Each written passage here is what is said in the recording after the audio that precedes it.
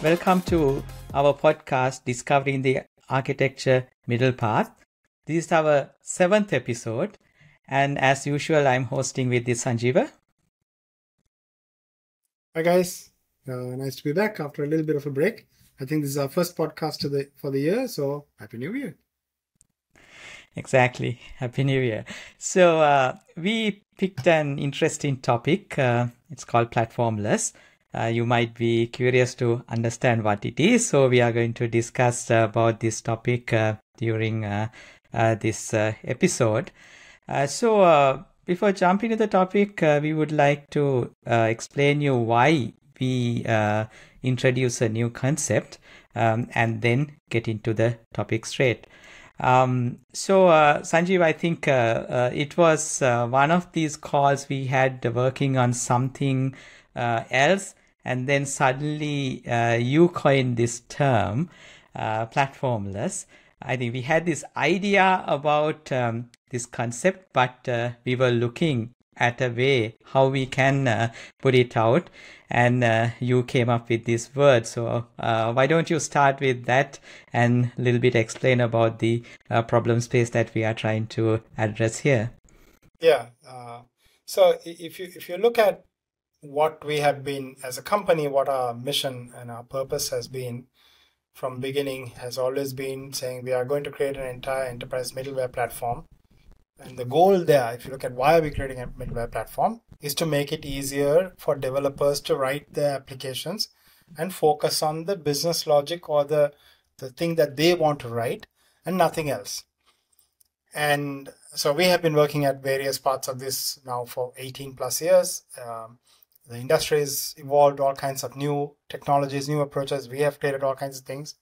But yet, if you look at any any enterprise really, except for a few exceptional organizations, developers spend a lot of their time and the architects and the IT and the CIO, all these guys spend a lot of their time and mental focus not on what digital value you can create for the business, but how to build the foundation, how to how to keep the lights on, how to do all these things that when you run a regular, when you look at the other parts of a business, take like collaboration, right? Now we in W we use Google Workplace Suite a lot of other companies use Office 365.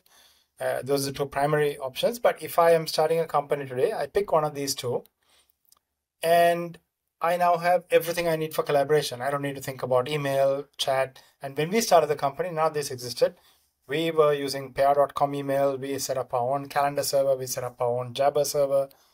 We set up some kind of file share so we could share documents and so on and on and on, right? That, that was the reality of collaboration but there was no platform for collaboration available that took the focus away from you.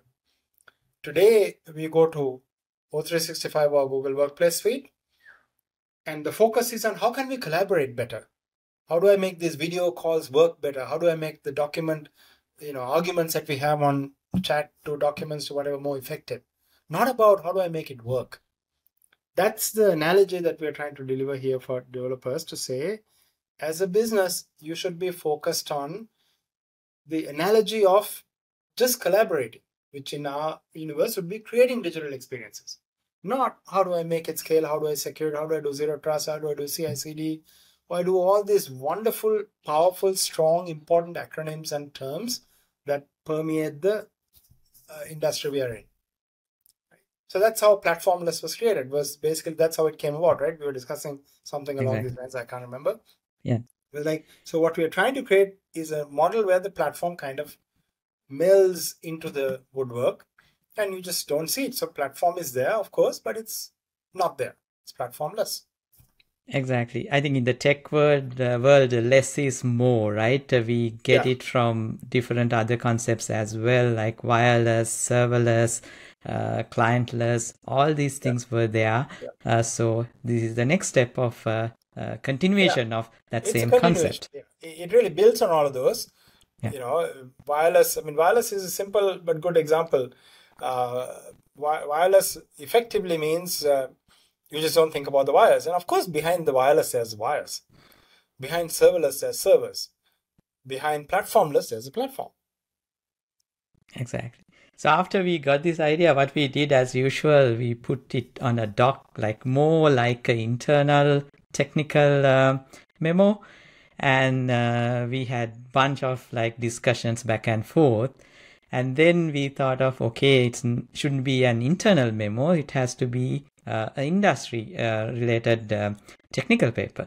So we started uh, writing the paper, and interestingly, we invited a guest. Actually, we can't tell a guest because family is not guest.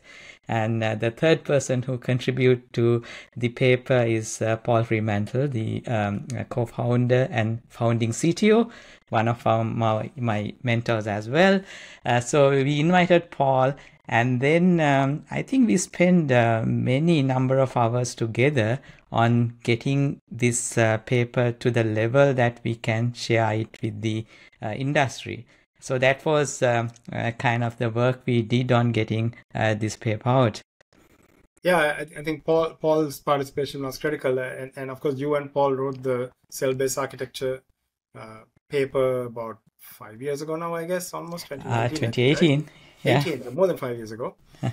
and um, and we wanted to create something like that. And cell-based architecture is also it's not a we're not pitching a WSO2 product. We're not pitching anything it's a conceptual way of thinking about a particular set of problems. Same thing with platformless. And so we wanted to write it in those terms and those uh, approaches. So Paul was uh, great, greatly helpful in, in also clarifying a bunch of stuff, helping identify what are the core anchors of what it means to be platformless. And uh, it was fun to work together again after a while.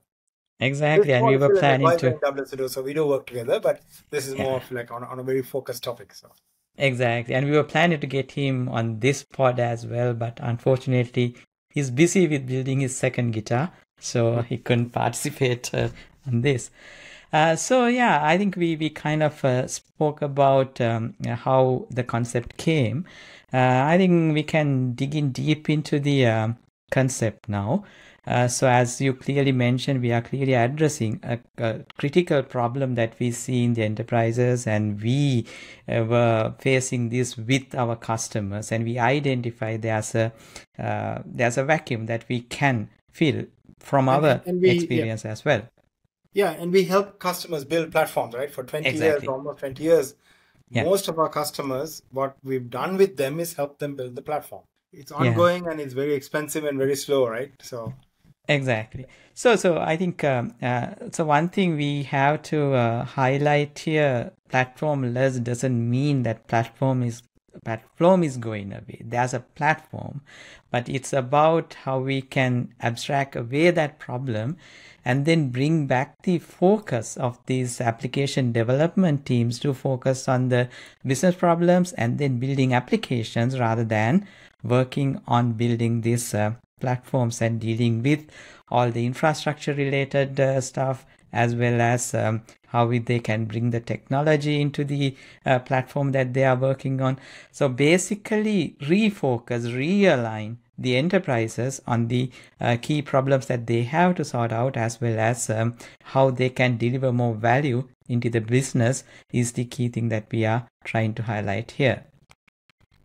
Yeah, so, so I think I think that's that's a real that's a key point. The uh, what we have seen from our customers and, and from many other people in the industry is that you spend all this time putting infrastructure together and finally you get to writing some code or writing some applications and so on but a lot of the focus of it in many organizations is not on the actual application so putting that infrastructure into a framework that you can uh, kind of assume just like you assume wireless or assume serverless uh, you know all the all these aspects uh, as with uh, going with that theme of less is more is what we were trying to capture.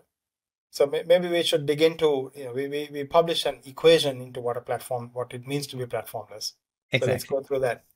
Exactly. So uh, like uh, we spoke about an abstraction but not to keep it at that level. That's where we came up with this what it is in very uh, uh, concrete manner. So that's where the equation comes. So platformless uh, equals to four things. So platformless equal api first uh, cloud native middleware um, platform engineering and uh, uh, developer experience. So those are the four uh, technology domains that uh, a platform-less experience should have, and uh, those are the four things that uh, the people who's building platforms also should focus.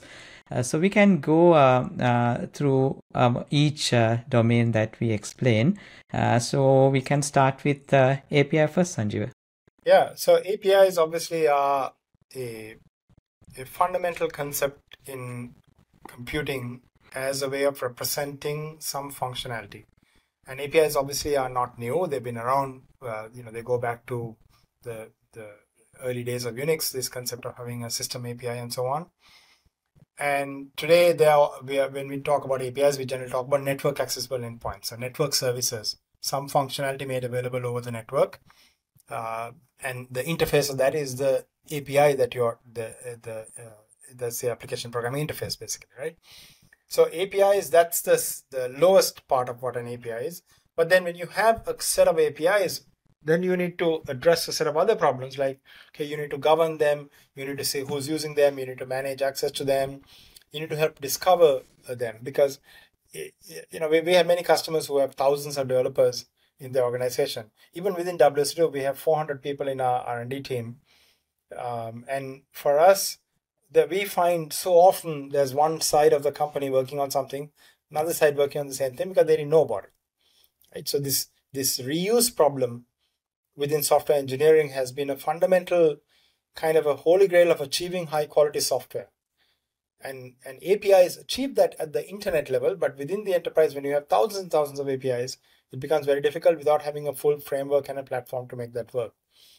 And so API first for, from our mental model, and this fits with the next one that you, you are going to talk about. The but the the APIs can be different levels. I can write APIs around only for my team, Nobody hmm. else uses it. I, I'm just sharing it within my little group that's building something. And then, or I could be creating some APIs, or my group can be creating an API that is visible to the rest of the company, yeah. but not to the rest of the world. And, and, and a few groups will create APIs that are published to the rest of the world. So, so there are these kind of layers that you need to have, and in in normal uh, API management terminology, that is internal API management versus external API management. But I think in our platformless mindset, we are we are taking thinking about even deeper and identifying these different layers that you must have.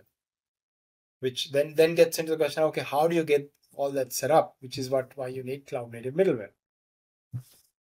Exactly. I think when it comes to APIs, there are like a bunch of things, right? Some sometimes people think it's only a mindset uh, change, but then again, it is but uh, the tool set that the organization is using to build this API should facilitate it. I think you made a really good point about the marketplace, how you can share these APIs, and then the underneath stuff about the gateways, access control, um, and then the um, about um, different type of uh, API styles and types also should support on how you can managing this stuff internally right? Like uh, you get rest graphql grpc type of different styles from one end.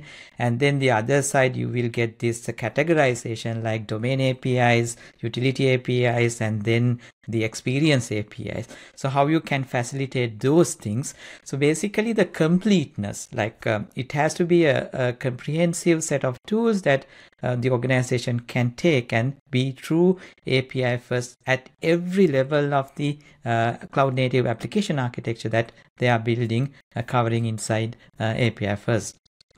Uh, so the next uh, technology domain is about cloud native middleware.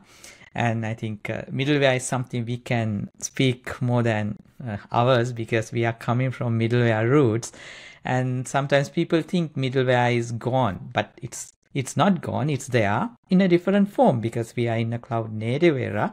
So it has to adjust and it has to uh, support all the cloud native concepts. That's why we even call it as a cloud native middleware.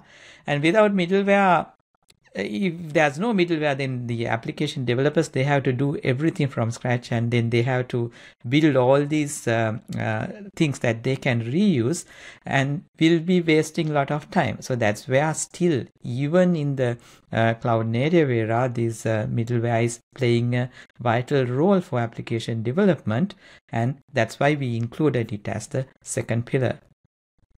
Yeah so, so i think the the concept of middleware in in the early days, uh, you know, I think middleware the term was invented in the late 80s by Oracle, um, and it meant a server running, providing some functionality, and you deploy something into that yeah. server so that the, server can uh, gatekeep that functionality and invoke your code. Uh, ESBs, application servers, workflow engines, all kinds of things, right? But of course, in the in the cloud native era, when we are talking about containers and Kubernetes and things like that, or, or functions as service, uh, uh, era, you don't have servers anymore. So middleware, instead of it being kind of holding your code together, your code runs and the middleware goes into two directions. On one side, it goes into the code itself. So for example, an HTTP engine is now part of every programming language. If I'm writing a program in Java, uh, I probably use Spring Boot and it gives me a way to open an HTTP endpoint. Previously, I would write the program as a servlet and drop it into a servlet container, which gives me the HTTP endpoint. Now the mindset is no, I just have the HTTP endpoint. Uh, so that's that's on one side. So where the some level of middleware is going into the component, and then the other level of middleware is going to the orchestration system, the runtime orchestration platform, Kubernetes, for example. So if you're thinking about load balancing, security, endpoint management, a bunch of things are going out of the code into that operating environment. And there you get these additional things like service mesh infrastructure and so on that you need to have to provide this operating environment to get a resilient platform implemented in a cloud native way in a cloud native environment. Eh, so if you expect every developer in every enterprise to go and go figure this stuff out and do it all by themselves. Yes, they can do it. Developers are very clever, but they're wasting time figuring out fundamentals of essentially modern computer science application architecture every single time, which is silly. So what, what we in a platformless environment, you need the cloud native middleware to be omnipresent. So you can think at that application level and design the business domains that you want map them into an operating architecture and get it all up and running. And all these things like api gateways service meshes and so on are all just shows up when you need it at the right place. Kind of being at a fine dining restaurant you know when you want some water it just shows up. You don't ever have to ask for it. You don't you know they don't fill it. Every time you take a sip they don't come and fill it. They know exactly the right time to come and manage the experience for you. So not no interference just just them. Exactly. And i think the the uh, something that we predicted some time back the middleware is disappearing into code and infrastructure. So that's what's really happening right? Even platform has become part of the infrastructure. So some of the middleware components will go into the platform and then provide it as a platform service while as you uh, clearly explain uh, some components will go inside the code uh, so it's uh, already happening and i think that's where we even introduced this language called ballerina some time back by looking at uh, this movement uh, in the industry and the predictions that we had so just a side note on that uh, so, so, the uh, maybe Asanka, yeah. you should. Uh, this is a good time also to talk a little bit about cell-based architecture. oh yes, yeah cloud native middleware and, and the role it plays in domain driven design and all this stuff. Exactly. So that's a key part of our architecture, uh, the way we think that uh, platformless should be delivered.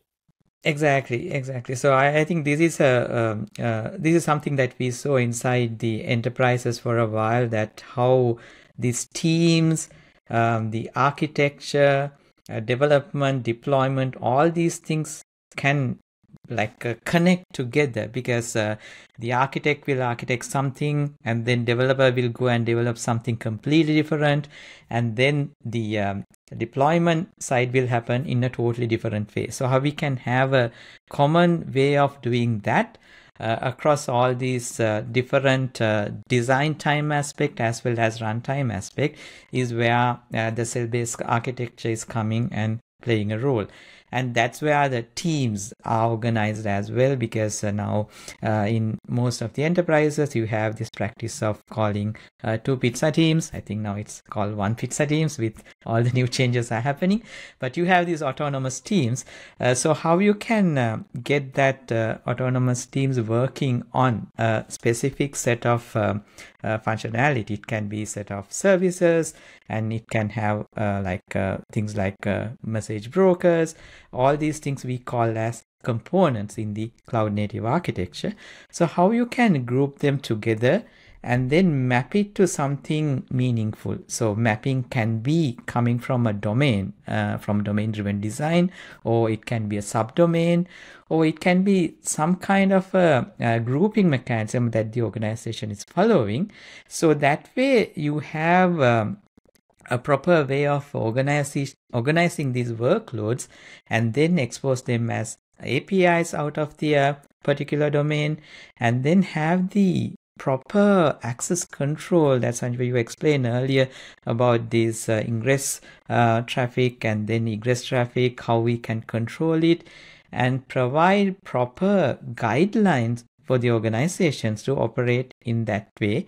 Uh, so that's where cell-based architecture coming and playing a huge role and even uh, we think that's where the um, uh, cloud native middleware and how this uh, middleware component should organize and uh, distribute across the organization so if you look at the aspects of cloud native middleware that you need to have so you have the lowest level foundational things like a kubernetes level orchestration container orchestration kind of stuff, or or a, a say a serverless runtime platform you need. But when you go beyond that, you need to have this kind of an abstraction such as cell-based architecture in order to organize all the work. Yeah. And then you bring in API management, service mesh, all this supporting infrastructure, which forms the entire middleware so the developers can focus on just write the code. Nothing exactly. And probably we will uh, talk about the cell-based architecture in the future as well. I'll probably do a separate episode um, on that. So we are moving to the fourth pillar sorry the third pillar. So the the uh, it's a very uh, uh interesting topic uh, these days because there's a huge demand for uh, platform engineers in the market and uh, there are a lack of platform engineers we heard from some of the recruiting firms as well. Why it is happening? Because um, they are the one who's building these platforms. Uh, so uh, uh that's a, a, really important part in the uh, uh, the pla- the platformless concept that that the the process of platform engineering will bundle everything together yeah, I, I think uh, platform engineering is obviously a very hot topic. Um, and in, in many ways, it is uh, the DevOps teams that were facilitating deployment and operation ha- have now provided a next level up, saying platform engineering should give developers everything they need to focus on engineering and whether it is getting observability, getting all these infrastructure set up, platform engineering is the sort of the discipline of creating that operating environment for development. And so, from our perspective, from the point of platformless, platform engineering is really the foundation. It, it is the engineering of the platform that allows you to create a platformless environment. And then, in that process of engineering, you need to have API first behavior, you need to have cloud native middleware, and the fourth pillar we're going to talk about. Yeah. And I think some organization treating platform engineering only for the development side, not on the uh, production runtimes. But in our definition, we connect those two, the uh, Dev- DevOps and SRE or site reliable engineering, both uh, together into uh, platform engineering. So that way, it's a combination of uh, providing facilitate uh, the development and then the production runtimes as well. Yeah, uh, yeah. So, so, I just, just, yeah. to add something to that. I think that that's a very important point you made that that the the runtime aspect uh, must be taken into consideration because from the point of view of the application developer, if you don't take into account what I can assume at runtime, the development organization has to go set up all that stuff on top of the underlying platform. Right. And and uh, these things are in a modern environment. Uh, you would never put something up available on the internet or a, even an internal network without security. Without if it's an endpoint, it's some kind of an API, uh, secured API architecture. You shouldn't deploy anything without a zero trust architecture. So so there are these kind of runtime things that have to be present and the developers should just assume that's there when they start writing code on top of I think that's a good uh, uh, entry point for the fourth uh, uh domain. That's about the developer experience because uh, end of the day, developers are the one who's creating these applications and then uh, delivering these digital experiences to the end users and that's what the business is mainly focusing on so making developers productive is key. Like uh, like whatever the platform that uh, built, if it is not addressing the developer needs, like the self-service nature and all the development um, uh, tools that they require to do build this end-to-end uh, cloud native application should address in the platform. I think this is something that is missing in some of the platforms that uh, we see in the market as well. Uh, more focus on platform engineering, but let's focus on the application developer. Yeah, the, the key, I kind of see the key there as when you talk about developer experience, you want to give developers all the freedom they want to have, not the freedom they want don't want to have. Developers don't like to be told use this library for doing this function because they should be able to create what they want. If they want to use a particular library for something or the other, that should be created. So, so there's a very subtle line that you have to draw between saying this is the way we do a queue, this is the way we do a database, this is the way we do this. How how high up you go with that? On one angle, that makes the developer experience easier because everything is selected. On the other side, that has removed a lot of creativity and opportunity for decision making for developers so you want to do developer empowerment and let the developer create. So you need to bring the platform up to the right level, but not too far. Exactly. I think that's where all these concepts like uh, polyglot programming on like uh, how they can choose their uh, preferred language within set of things that uh, the enterprise can approve and i think uh, again we are going back to the cell-based architecture a little bit like how they can have freedom within those um, uh, cells um, and then the uh, tooling aspect of as, it as well how the tooling uh, deeply connected with the platform. So because developers they like to use their preferred IDE and then uh, some developers especially in this cloud native era they like to use the command line a lot uh, because CLI stuff are really fun to have and use. Uh, so uh, how uh, these these things are addressing without trying to change the developer behavior rather uh, try to make them productive by using all these tools. I think that's where some of these um, AI capabilities uh, might come and help as well because uh, it's all about uh, how we can increase the developer productivity. Yeah, I think I think uh, Gartner has this terminology they use. I think called AI augmented software engineering. Yeah. Uh, so really, AI uh, as AI approaches and models and tools develop, what we expect is that it plays a role in all of these functions. So as you do, as you work in a internal developer platform kind of environment where which delivers this platformless experience, whether it's whether you have built it yourself or you bought it, in that experience, the, you are expecting that there is a little bit of a clippy like thing that is around always giving you guidance and helping you out, right? So, so like a, that's why I think AI augmented software engineering means on all aspects of software engineering, whether it is on on the the auto, the one that a lot of people are focused on and new companies are being formed on is on on uh, code uh, code authoring, code generation, natural language to code, developer tools at that level. But that's the the sort of the last part of the software engineering problem. Very important, the code matters, but the code doesn't live by itself. Code fits into other things. Code needs to reuse. all of those are part of the software engineering problem as well. Exactly.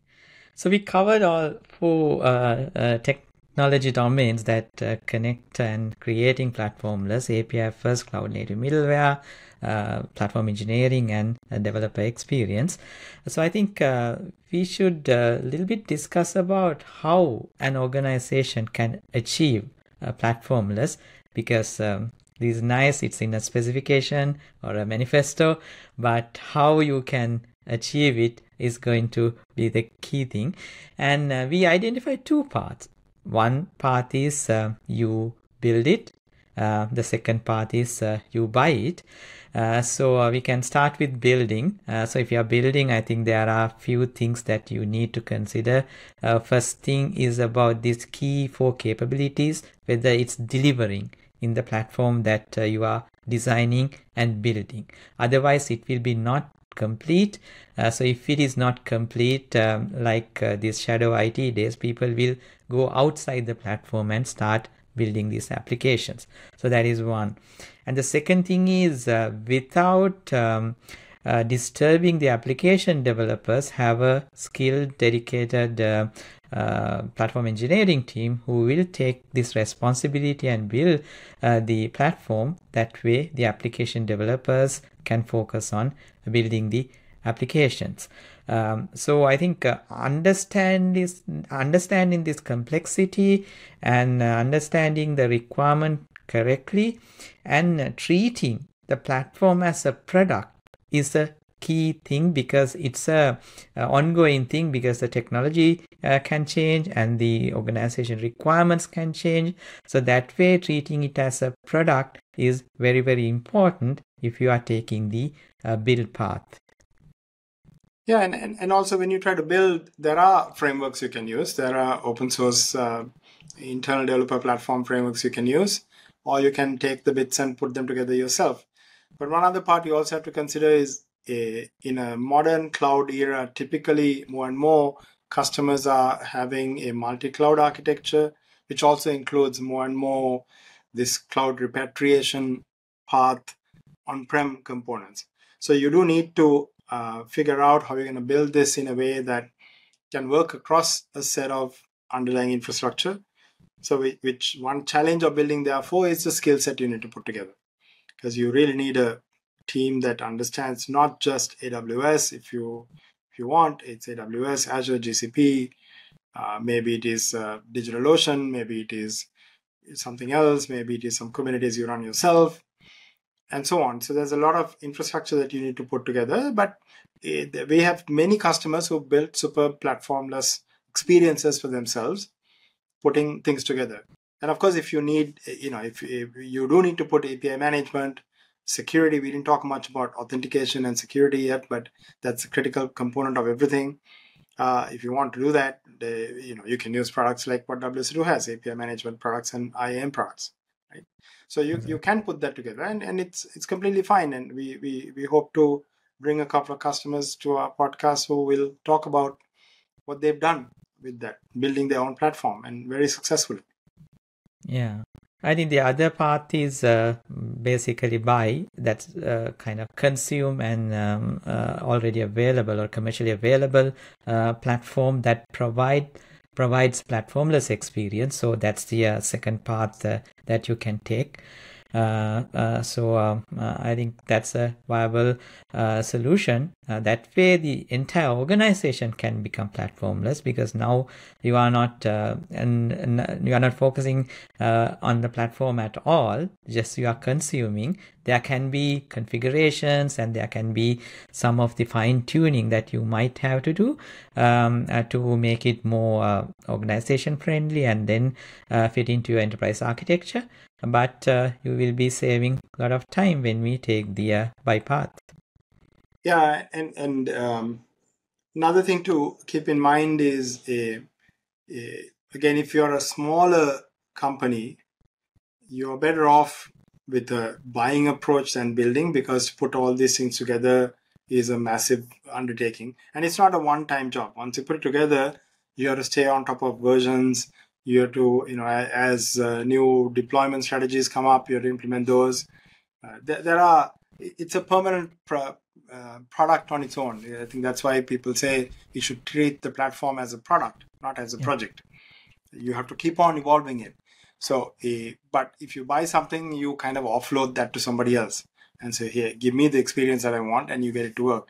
So, uh, our general, uh, I think, uh, Asanka, you and I agree on this one that this is a layer that if you can buy it, you should buy it.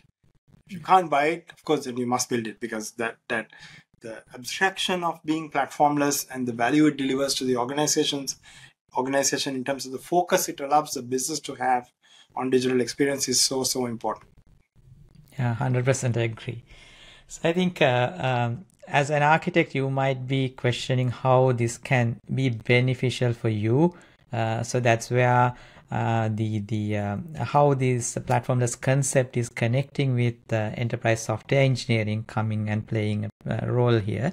Uh, because when it comes to enterprise it's not like you just write a web app or you just write a mobile app. You have to deal with a lot of complexity because there can be existing systems and then businesses are not uh, running as a silo that you need to connect with uh, the ecosystem and it can contains the partners and sometimes the organizations are going through acquisition. So different type of systems are coming.